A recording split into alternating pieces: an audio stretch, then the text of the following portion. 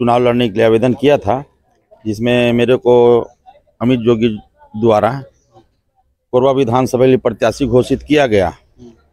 और आज मुझे पता चला तीन बजे कि मेरे इंतज़ार किया मैं कि मेरे बी फार्म जो है, नहीं भेजा गया।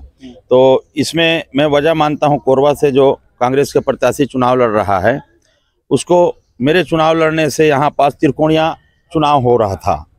तो त्रिकोणिया में क्या है, कांग्रेस के जो प्रत्याशी हैं कौन है?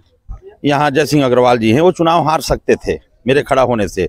तो मुझे आशंका है कि ऊपर में कहीं सेटिंग करके सेटिंग सेटिंग किस टाइप का सेटिंग मतलब अपने प्रभाव से कि आप रज्जाक को वहाँ से न उतारें हम्म। बोल करके किए होंगे। तो बीजेपी सेटिंग नहीं कर सकती? नहीं मेरा तो खड़ा होने से कांग्रेस की वोट पूरा करता ना। अच्छा। निर्दलीय चुनाव लड़ेंगे? हाँ दमखम के साथ लड़ेंगे कोरबा विधानसभा भी लड़ेंगे कोई दिक्कत नहीं। किससे लड़ाई रहेगा? सीधा लड़ाई किससे? अपना प्रतिद्वंदी किसको मानते हैं?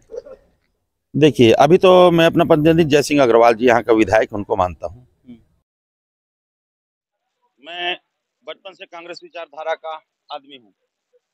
और जिस हिसाब से छत्तीसगढ़ में भूपेश सरकार जी की सरकार जो काम कर रहा है किसानों के लिए अच्छा फ़सल की कीमत और बोनस भी अच्छा किसानों को दे रहा है। इससे क्या है, हमारे ग्रामीण क्षेत्र में लोग मज़बूत हो रहे हैं और पूरा छत्तीसगढ़ में भूपेश जी का सरकार अच्छा कार्य कर रहा है। और कोरबा जिला में मैंने देखा कि जय सिंह जी एक ऐसा नेता है, कम से कम कहीं दबंगई करके गरीबों के लिए लड़ते हैं।